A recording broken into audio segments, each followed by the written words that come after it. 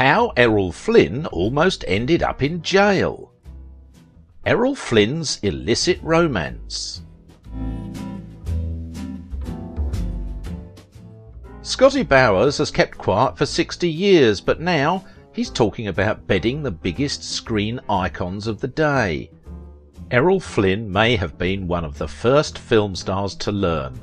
The public never forgets. By the mid 1940s, Flynn's career as a matinee idol and swashbuckling film star had dimmed thanks to scandalous reports of alcoholism, womanizing, and the alleged assault of two underage girls.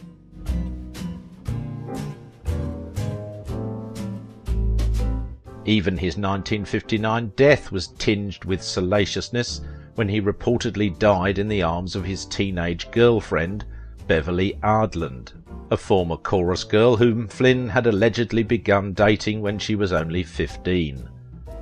I'm bewildered. I can't understand it. I hardly touched the girl, said the 33 year old actor of Hansen as he was released on $1,000 bail.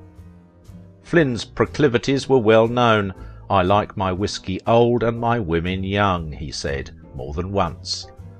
But there also was suspicion that charges had been brought because, in the words of Kenneth Anger in Hollywood Babylon, Warner Brothers, was not coming across with juicy enough kickbacks to local police the trial quickly became a media circus.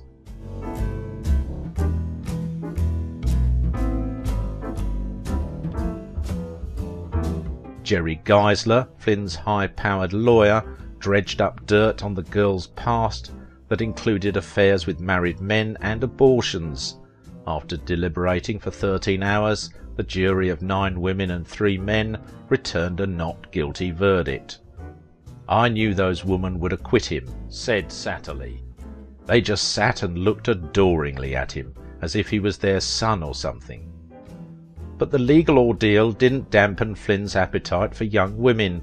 During the trial, he met Nora Eddington, 19, who worked at a snack bar in the court complex and was the daughter of a Los Angeles County Sheriff's captain. Soon she was pregnant, and they married in 1944.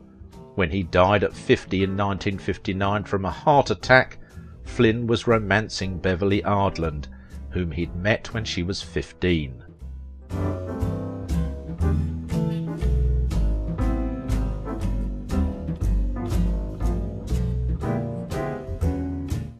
Spencer Tracy, Katharine Hepburn, and Errol Flynn had just one thing in common, apart from being movie superstars but that one thing wasn't the fairy tale romance that Hollywood falsely spun for the public to keep their images clean, apparently. They both used a handsome young gas station attendant for sex, in Tracy's case personally, and in Hepburn's case to procure her lesbian lovers, up to 150 of them over a lifetime.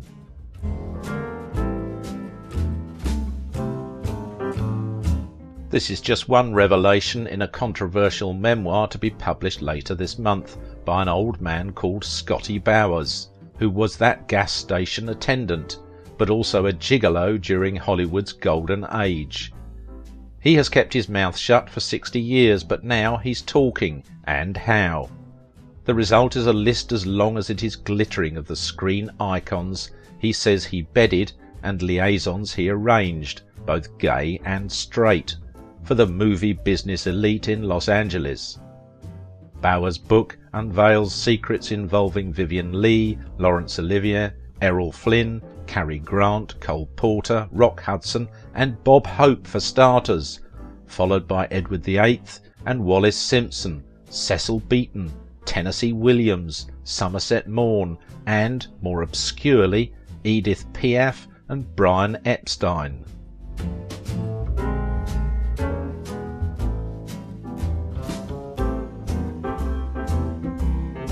His book is calculated to shock. Some of the sensationalist tales seem incredible, while the many lurid disclosures are unflinchingly detailed. Rumours of his work as a gigolo and a pansexual, post-war version of Hollywood madam Heidi Fleiss, have done the rounds for years, and been exchanged faithfully in industry gossip circles. Bowers said he'd kept quiet before because he didn't want to hurt anyone's feelings. He declared that he was talking now simply because I'm not getting any younger and all my famous tricks are dead. The truth can't hurt them any more.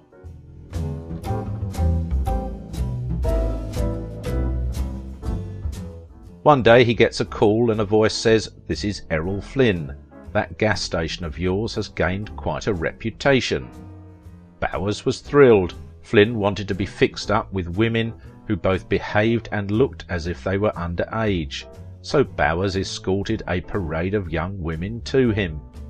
But he mentions, in the book's somewhat self-aggrandizing style, that Flynn would get so drunk that despite telling them, I'm going to make love to you like nothing you've ever experienced, he would pass out dead drunk, and Bowers would oblige the lady myself.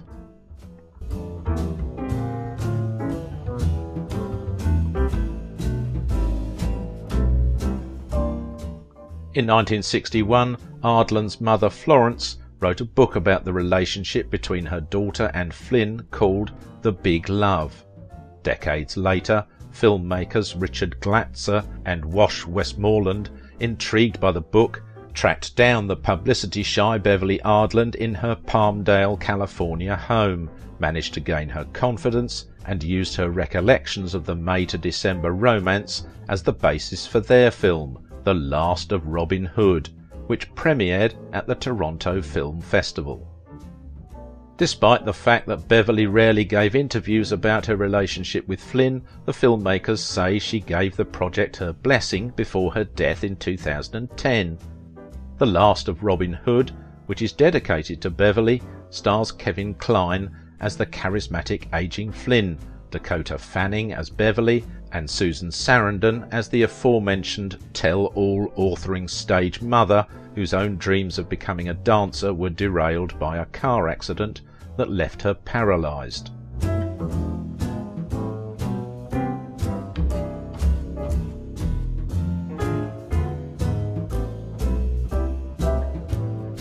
In the interest of old Hollywood gossip, we've compiled some of the juiciest Last of Robin Hood plot points, which refer to Flynn's illicit romance below.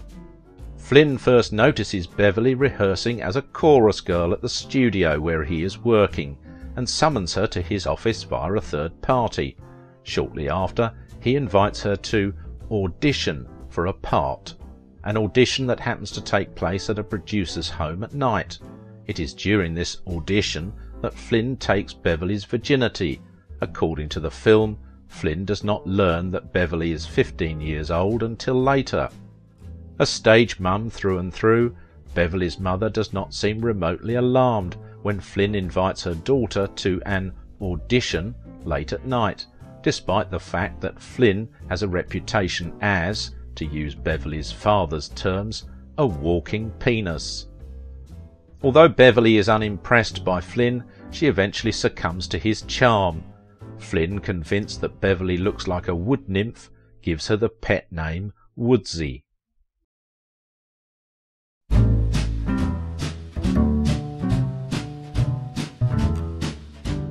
Flynn is able to woo Beverly's starstruck mother and even encourage her to tag along on their dates as a third wheel because, as he tells her, he does not want the press to allege something unsavoury. After Beverly's mother discovers that her daughter is sleeping with Flynn, Flynn is able to calm her nerves by promising that he will facilitate an acting career for Beverly. He takes her to an audition for Lolita, where he tells director Stanley Kubrick that he and Beverly are a package deal. Obviously, this negotiation tactic does not work out.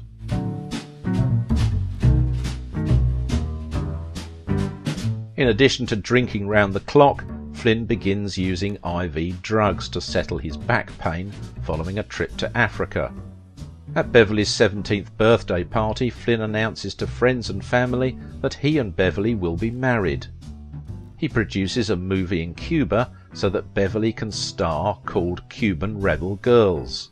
While filming, he falls ill and dictates a living will to Beverly so that she is taken care of in the event of his death.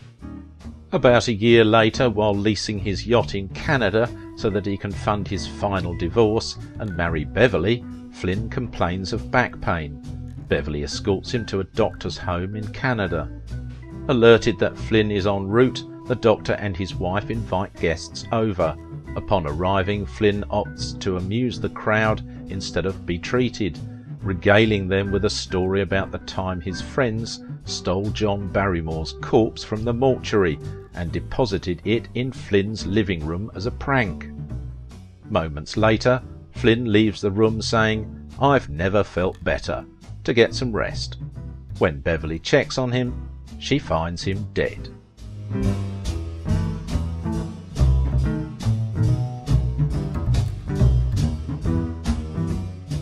The will Beverly transcribed for Flynn is deemed invalid because it does not have a signature.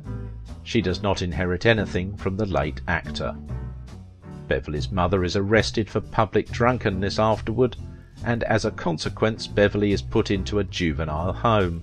Her mother is found guilty of contributing to her daughter's delinquency and put in jail for 60 days. Beverly ultimately makes amends with her mother, who wrote The Big Love against Beverly's wishes on Florence's deathbed. Recalls Arthur Hiller, 90, who directed Flynn in a 30 minute NBC drama shortly before his death. He was intoxicated and couldn't remember his lines the few days we worked together. He just felt like a nice guy. Like a nice guy with a problem.